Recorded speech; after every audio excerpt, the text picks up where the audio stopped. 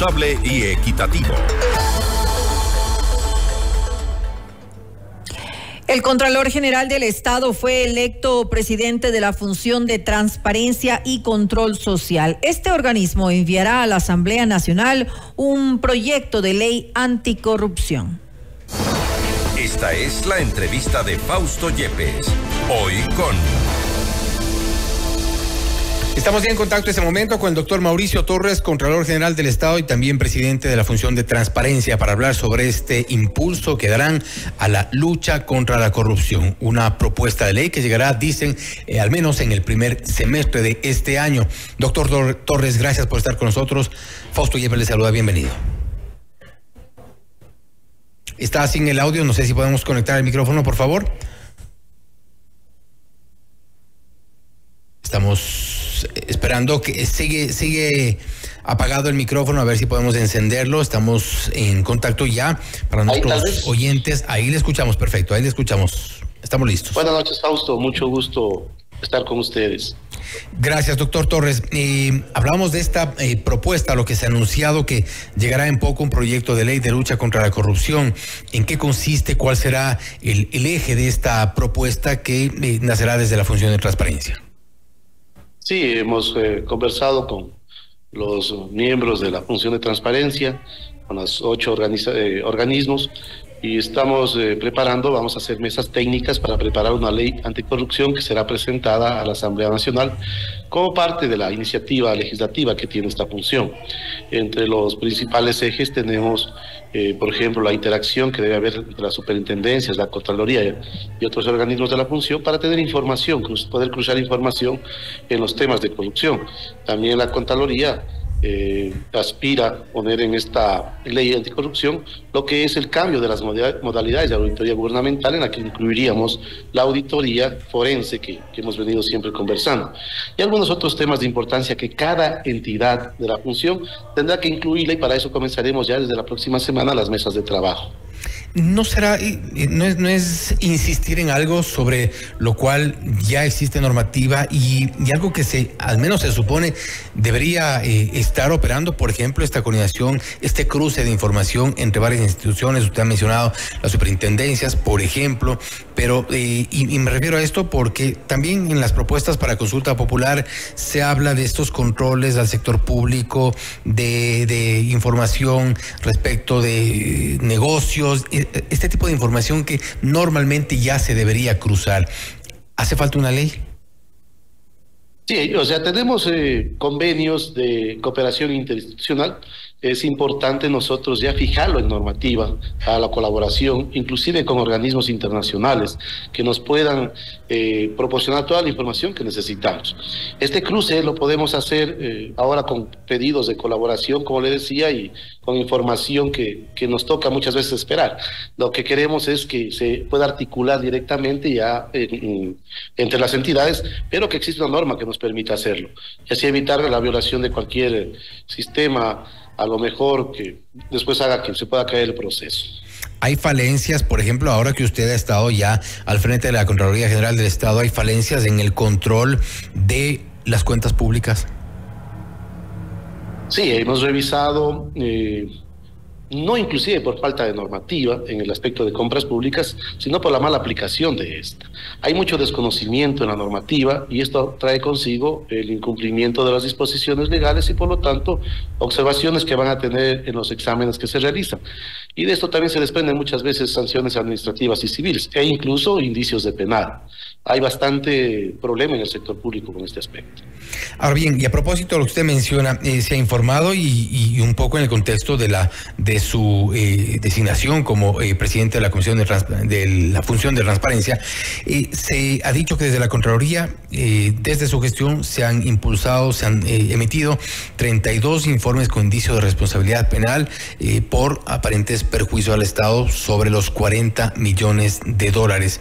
¿En qué tipo de contrataciones, en qué o en qué sectores se identifican más este tipo de indicios?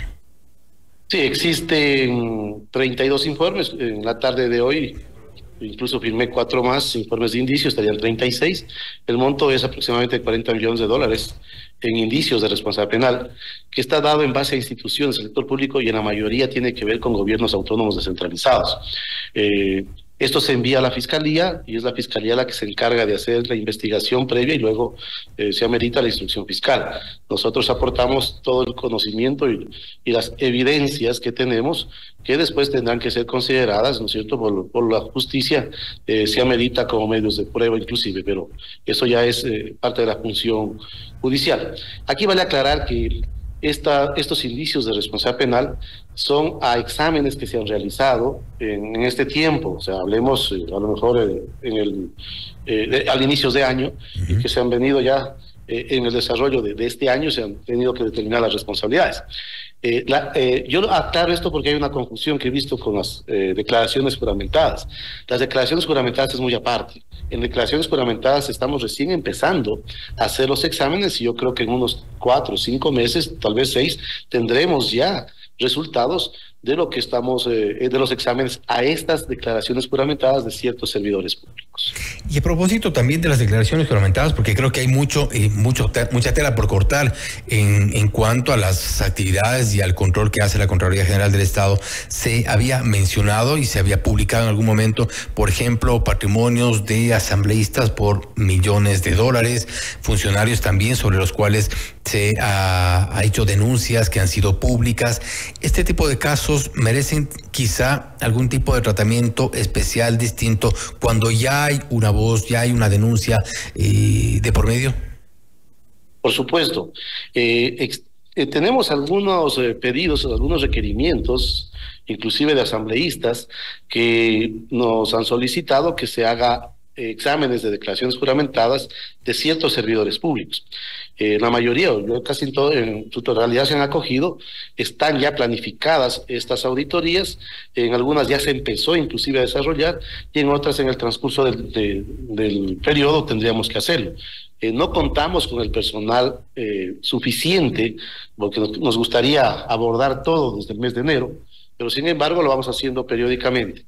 Ahora ya han salido algunos algunas zonas de trabajo para hacer ya declaraciones juramentadas. Y es aquí, recién en, en este eh, periodo, lo que vamos a utilizar, lo que es inteligencia artificial, para lo que son declaraciones juramentadas. Pero todavía no estamos implementando el sistema, pero se va a implementar para poder tener una mejor eficiencia eh, en este proceso. ¿Cómo funciona lo de, eh, esto de la inteligencia artificial en el trabajo de ver verificación de los patrimonios, por ejemplo, y contrastar información respecto a la declaración juramentada? Ya, de acuerdo al sistema que deberíamos utilizar eh, en forma posterior, aquí nosotros incluimos los ciertos datos que nos requiere el sistema y en base a eso, eh, esta nueva tecnología lo, nos determina cuáles son los servidores que amerita el examen. Y así evitamos desperdiciar recursos humanos, especialmente con servidores que a lo mejor no tienen aumento o disminución de patrimonio. Entonces, eh, hay que ingresar cierta información, ya nos va a decir cuántos servidores del, grupo que pusimos son a los que verdaderamente se, se debe hacer el examen. Lo propio se hará también con la inteligencia artificial respecto de controles en compras públicas, por ejemplo, en lo que usted también ha mencionado, los gobiernos autónomos descentralizados. No, no tenemos eh, preparado todavía el sistema para esto. Eh, estamos recién trabajando en lo que es para declaraciones juramentadas, pero ojalá a futuro, eh, con mm, aportes a lo mejor de, de, países hermanos, podamos también llegar a tecnificar en esos sistemas y así también optimizar recursos.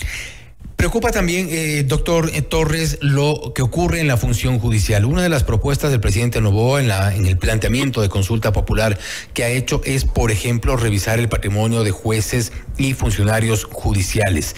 No obstante, esa es una función que también, eh, cuya atribución tiene la, Contraloría General del Estado. ¿Hay quizá alguna deficiencia o usted en el corto tiempo de gestión ha encontrado deficiencias en este análisis, tomando en cuenta todo lo que hay en el contexto del caso Metástasis. Jueces, asistentes judiciales con movimientos seguramente de varios cientos de miles de dólares que ni de lejos se compadecen con eh, los ingresos. Sí, las deficiencias existen Eh, y uno de los problemas que tenemos, y lo vuelvo a repetir, es justamente la falta de personal para poder cumplir eh, con, con todas las declaraciones que deberíamos revisar. Estamos hablando de que aproximadamente somos 700 mil servidores públicos, la Contraloría tiene 2.994 servidores eh, que, y que analizan a 3.400 entidades públicas, por lo que es, eh, yo diría, casi imposible poder revisar a, a, a, todas las declaraciones, que sería lo lógico. Entonces lo que se hace es que se programa cada año, especialmente con las declaraciones juramentadas que van terminando sus periodos, para hacer un contraste del inicio con el fin o de la periódica con el fin y así lograr determinar si han habido aumentos o disminuciones de patrimonio, que son las alertas que podemos tener.